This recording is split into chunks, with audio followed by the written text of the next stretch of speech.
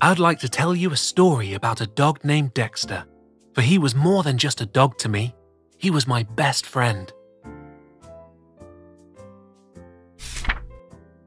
It all started in the summer of 88.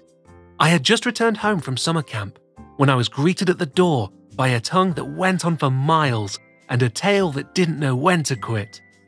He was the cutest thing on four paws as ever I had laid eyes on, and he was all mine.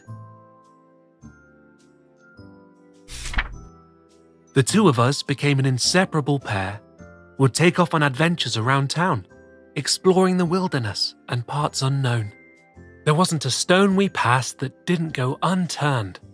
I'd show him how to fish down by the local quarry.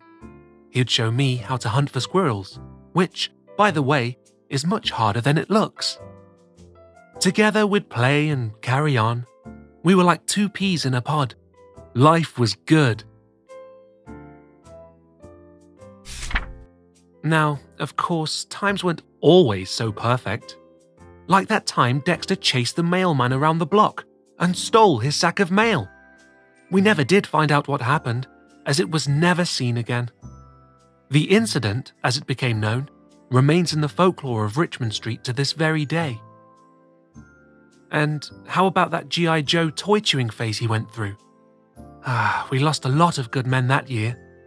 We certainly had our fair share of highs and lows, but through the thick and thin of it all, we remained best of buds. As the years passed and we grew older, Dexter began to slow. Instead of chasing the squirrels, he'd sit and watch them play from afar. He took up new hobbies like napping and chewing sticks he'd find around the yard. And boy, did he love those sticks. When he finished his way through the sticks in our yard, he'd roam the neighbourhood scavenging sticks from wherever he could find them. All that remained were circular patches of sawdust where he had gone to work.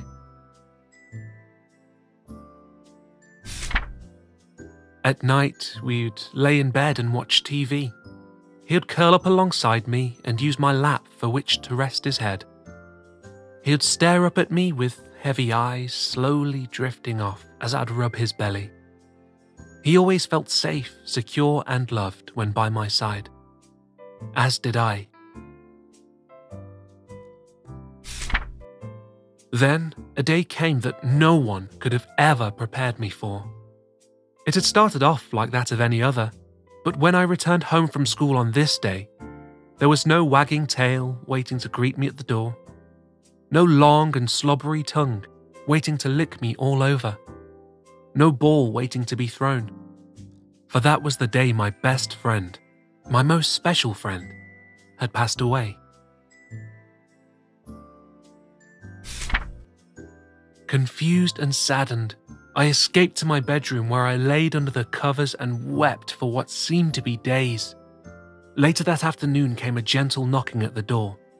It was my grandmother. She had come to visit me after hearing of the news.